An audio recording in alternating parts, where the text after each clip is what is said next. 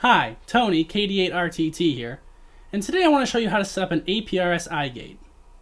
Now, if you're not familiar with APRS, I suggest you do a quick Google search. There's a lot of information out there about it, and it would take me way too long to explain it all here. But basically, an iGate is used to take packets received via RF and upload them to the internet. To get started, you're going to need two pieces of hardware.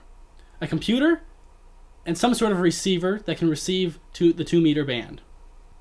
Here in the States, the frequency we use is 144.39 megahertz, but that varies by region of the world.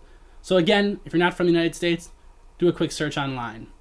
In my case, I'm using an old scanner I have, but you could just as well use an extra 2 meter rig you have laying around. Again, you'll just be receiving, so you won't need the transmit side of things. The computer you use doesn't matter too much, as long as it has an internet connection and some sort of audio in port. Connecting the equipment is as simple as connecting your antenna to your receiver, your receiver's audio out, or in my case a headphone out jack, to the audio in, in my case a microphone in jack, on the computer. Now you're ready to set up the software. Okay, you're going to need to download two pieces of software. The first is the AGW packet engine from the link on the screen, and the second is the APRS ISCE 32 software, uh, also from the link on your screen. We're going to first set up the AGW packet engine. So go ahead and open that. And I want to agree. You're going to have to go down here to your bar. Right click and go to properties. So pop open this. You want to go new port. It's going to say you must restart the program, but then it'll pop up this window. So here, you want to name the port. Um, I'll just call it 144.390 and select your TNC type. Now here we're going to be using a sound card. So select sound card. Open this window. Most of the settings you're going to leave the same, except for you have to select a sound card. Um, I actually have two sound cards. I'm going to be using the USB one.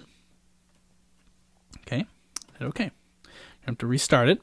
So go down here again, right click, exit, and then reopen the packet engine.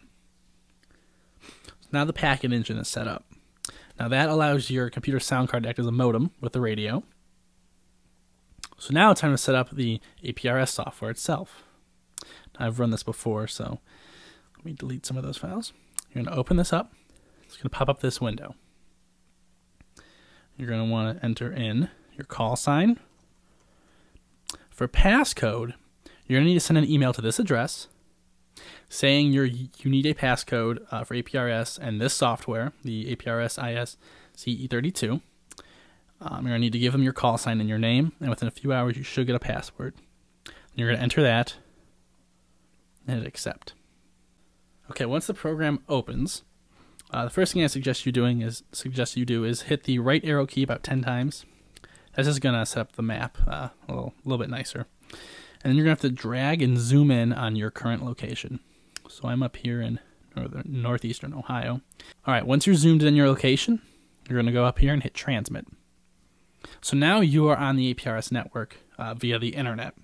If you notice on, your, on the left hand of the screen down here, it'll have some stations, including your own. Those are stations that are being received via the internet. Um, you, you, the RF part has not been set up yet, but we'll go ahead and do that now. So you're going to go up to configure down to ports, new port. Your type is going to be AGW, and your name is going to be, uh, you can name it whatever you'd like. I'm just going to name it scanner since that's what I'm using uh, on the RF receiver. All right, so you're going to use TCP IP. For the IP, you're going to want 127.0.0.1, and you're going to be using port 8000. All right, when this pops up, um, since we're just an iGate and we're not transmitting anything via RF, you can deselect IS to RF and transmit enable, hit accept. So now your iGate should mostly be set up. And that's it. You successfully set up an APRS iGate. Now, if you'd like to see the specific packets that you've been responsible for uploading to the system, go to a website like aprs.fi and search for your call sign and you'll find them listed there. Well, that's it. So 73, and thanks for watching.